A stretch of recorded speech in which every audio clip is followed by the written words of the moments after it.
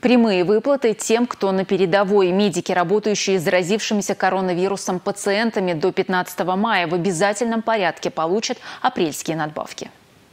В долгий ящик решения этого вопроса откладывать нельзя. В Рио главы Чуваш Олег Николаев на республиканской планерке дал 4 дня и пообещал лично все проверить. Денежные средства, предусмотренные для выплаты врачам и иным работникам э, здравоохранения, Э, которые положены соответствующие выплаты в связи с решением президента, имеются в наличии, работа организована, эту работу ускорить и в обозначенные э, сроки президентом, это до 15 мая, да, предоставить все необходимые доклады и отчеты.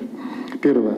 Впоследствии эту ситуацию держать под жестким и строгим контролем. Медработникам предусмотрено направить на апрельские выплаты более 36 миллионов рублей. Из этих средств производится дополнительное начисление для медицинских работников, занятых диагностикой и лечением больных коронавирусом. Всего доп. выплаты положены 3462 работникам. В их числе 1105 специалистов скорой медицинской помощи. Они ее уже получили.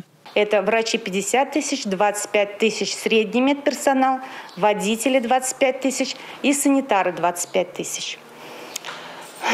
Также они получили по 415 постановлению правительства Российской Федерации.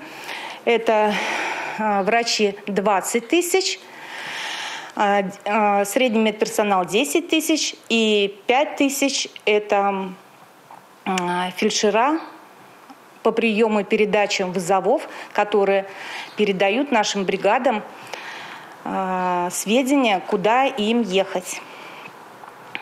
В настоящий момент по 484 постановлению выплаты все полностью осуществлены 8 мая.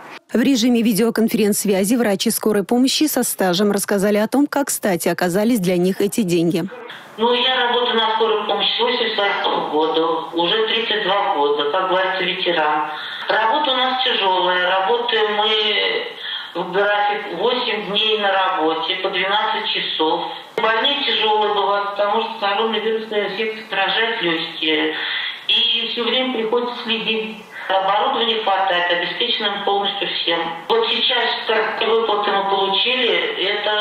это, для нас был шок. По инициативе в Рио главы республики Олега Николаева из бюджета Чуваши дополнительно выделено 28 миллионов рублей на стимулирующие выплаты категориям работников, которые не подпадают под федеральное вознаграждение, но также участвуют в борьбе с коронавирусом. Наталья Мальчикова, Рифат Фаткулин, Юрий Марков, Республика.